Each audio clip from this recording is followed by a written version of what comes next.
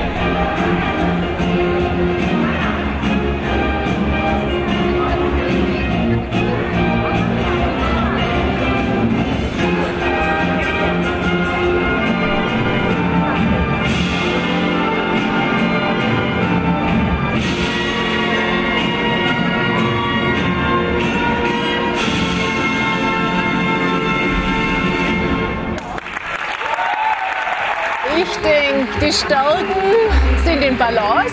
Da sind sie schon ein bisschen weiter in der Balanceübung. Und ein bisschen die Schwellen sind im Tempo, aber wir haben das fast, fast geschafft, dass wir gleich ziehen.